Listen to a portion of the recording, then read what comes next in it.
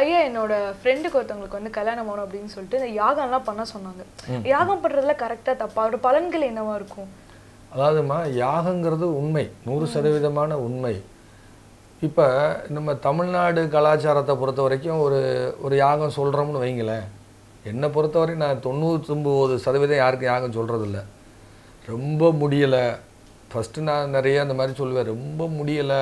அவங்க கேட்டால் மட்டுமே. நான் போய் அதை பண்ணுங்க இதை பண்ணுங்கன்னு சொல்கிறதில்ல என்கிட்ட பார்த்த அன்பர்களுக்கு நிறைய பேருக்கு தெரியும். அப்படி கேட்டால் அப்போ அந்த யாகங்கள் என்ன பண்ணுனா சக்ஸஸ் ஆகும். முதல்ல எந்த இடத்துல போய் பண்ணால் சக்ஸஸ் ஆகும்? அதான் சொல்லிட்டேன் முண்டே நஸ்ட்ராலஜின்னு சொல்லிட்டோம். பிரபஞ்ச ஜோதிடம்னு அதுக்கு பேர். தமிழ்நாட்டை பன்னெண்டு ராசியையும் பன்னெண்டு மாவட்டங்களாக பிரிக்கலாம். ஒரு ஊரை பன்னெண்டு ராசியாக பிரிக்கலாம். ஸோ அந்த ஜாதகத்தில் எங்கே போய் இந்த யாகம் செஞ்சால் சக்ஸஸ் ஆகும்? அதில் என்னென்ன சமித்துகள் போடணும்? அந்த அந்த தேவதைகளுக்கான சமித்துன்னு ஒன்று இருக்குது இப்போ உதாரணமாக எடுத்தீங்கன்னா ஒரு பொண்ணுக்கு மகர லக்னம். ஏழில் குரு இருக்கார். ஏழுலேயே குரு இருக்கார். புனர்பூச நட்சத்திரத்தில் இருக்கார். இந்த புனர்பூச நட்சத்திரம் வந்து குருவோடைய சொந்த நட்சத்திரம். குரு அங்கே உச்சமாக இருக்கார். கடகராசி அந்த பொண்ணுக்கு சூனிய ராசி. கடகராசி சூனிய ராசி. அப்போ அந்த பொண்ணுக்கு போய் அவங்க என்னென்னமோ பரிகாரம் என்னென்னமோ பண்ணுறாங்க ஒன்றும் செட் ஆகலை. மேரேஜ் ஆகலை. அப்போ என்கிட்ட கடைசிக்கு வரும்பொழுது நான் யூஸ்வலாக எல்லாரும் சொல்கிற மாதிரி இந்த மெட்டல் கட் பண்ணுறது அந்த மாதிரி சொல்லலாம். அப்போ அந்த பொண்ணுக்கு நான் என்ன சொன்னேன் அப்படின்னு கேட்டிங்கன்னா அம்மா அந்த மாதிரி சுண்டல் கடலை வந்து தானம் கொடுங்க. சுண்டல் கடலை தானம் கொடுங்க. அது போக சுண்டல் கடலை வந்து உடச்சி போடுங்க. சுண்டல் கடலையை உடச்சி போடுங்க. இதுதான் பரிகாரம் அப்படின்னு. ஐயா சுண்டல் கடலையை உடைக்கிறதுக்கும் இதுக்கு என்ன சம்பந்தம்? நம்ம அந்த ஜாதகத்தில் குரு வந்து திரிசூனி வீட்டில் உட்காந்துருக்காரு அது மட்டும் இல்லாமல் அந்த குரு திரிசூனிய வீட்டில் உட்காந்தனால குருவே சூனிய சூனிய கிரகமாக வேலை செய்யும். சூனியம்னா வெறுமைன்னு அர்த்தம். யாரோ செய்வன வச்சுட்டாங்கலாம் கிடையாது. சூனியம்னா வெறுமைன்னு அர்த்தம். அதில் போய் குரு உட்காந்துருக்காரு அப்போ அந்த குரு போய் அவர் வந்து இந்த மகர லக்கணத்துக்கு அவர் பன்னெண்டு கூடையவர். ஏழாம் இடத்துல போய் உட்கார்றாரு ஏழு கூடையவரும் ஜாதகத்தில் கெட்டு போயிட்டாரு. ஸோ இந்த சுண்டல் கடலை தானம் கொடுங்க. இல்லைன்னா சுண்டல் கடலை உடச்சி போடுங்க. இந்த பெண்ணை பெண் பார்க்க வர்ற அன்னைக்கு மா மாப்பிள்ளை வீட்டிலேருந்து பொண்ணு பார்க்க வருவாங்களா இல்லையா? வர்ற அன்னைக்கு உங்கள் உங்களுடைய ஃபே- குடும்ப நண்பர்களா? கணவன் மனைவி பிராமணராக இருக்கணும். குருங்கிறது பிராமணர். உங்கள் குடும்ப நண்பர்கள் யாராவது பிராமணர் இருக்காங்களான்னு? என் கூட ஒர்க் பண்ணுற டீச்சரே பிராமின். ஸோ அவங்களும் அவங்க வீட்டுக்காரரும் உங்கள் வீட்டில் கெஸ்ட்டாக வந்து இருக்கணும். உங்கள் வீட்டுக்கு வரக்கூடிய விருந்தாளியை அவங்க வரவேற்கணும். உங்கள் வீட்டுக்கு வந்த விருந்தாளியை வாங்கோ உட்காருங்கோ காபி சாப்பிடுங்கோ அப்படின்னு பேசணும். பேசி வரவேற்கணும். வரவேற்று அந்த அலைன்ஸ் ஃபிக்ஸ் பேசி முடியிற வரைக்கும் அவங்க இருக்கணும். நிச்சயதார்த்தத்துக்கு அவங்க வரணும். கல்யாணத்துக்கும் முகூர்த்தத்துக்கும் அவங்க தான் வந்து இருக்கணும். மடிசார் கட்டிட்டு வரணும். அவசியம் மடிசார் கட்டி வரணும். இதான் பரிகாரம். செய்ய சொல்லுங்கள் மேரேஜ் ஆயிரும் போங்க. இது ஒரு பரிகாரமா? அம்மா செய்யுங்க நடக்கலைன்னா சொல்லுங்க.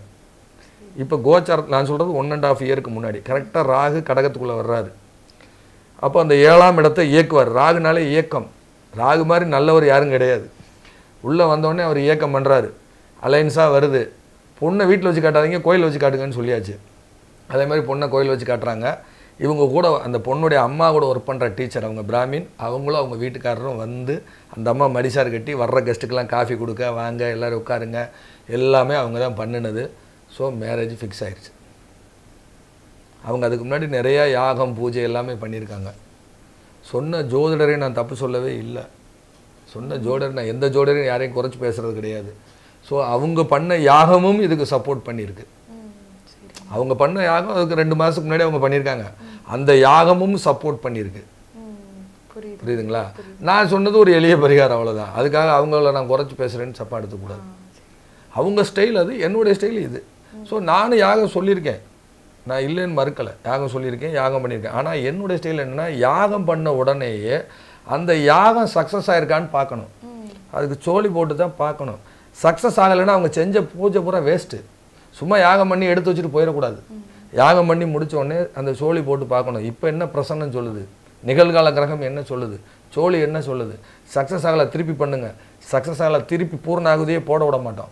திருப்பி திருப்பி பிரார்த்தனை பண்ணுங்கள் சில பேருக்கு வரும் கரெக்டாக குரு மேலே விழுகும். துளா ராசியில் போய் விழுகும். துலாம் வந்து தராசு வீடு. அது காற்று வீடு. அந்த பிரசனத்தில் குருவுடைய தொடர்பில் அங்கே இருக்கும். அப்போ நான் என்ன சொல்லுவேன்? நாயகம் சக்ஸஸ் ஆகலை. துலாபாரம் குருவாயூருக்கு கொடுக்குறேன்னு வேண்டிட்டு திருப்பி போடுங்க. அவல் பொறி எடுத்து யாகத்தில் போடுங்கன்னு சொல்லுவோம். அப்போ அவங்க குருவாயூரப்பனுக்கு வேண்டி பிரார்த்தனை செஞ்சு எங்கள் கல்யாணம் முடிஞ்சதுக்கப்புறம் வந்து உங்களுக்கு துலாபாரம் கொடுக்குறேன்னு வேண்டி திருப்பி யாகசாலையில் போடுவாங்க. அதுக்கப்புறம் அந்த இடத்துல நிவர்த்தின்னு வரும். அந்த பிரசன்னம். ஸோ யாகம் சக்ஸஸ் அப்போ அதை பார்க்குறதுக்கு நான் இருக்க வேண்டியிருக்கு. இதுக்காக அவங்களுக்காக நம்ம அவங்க இடத்துக்கு நம்ம ஒரு நாள் ரெண்டு நாள் பொழப்ப கெடுத்து அங்கே போய் உட்காந்து யாகம் பண்ணி நிறையா அதுக்கான புரோகிதர்களை கொண்டு வந்து யாகம் பண்ணி அது சக்ஸஸ் ஆனு இதுக்கு ரெண்டு நாள் ரிஸ்க் எடுக்கணும்.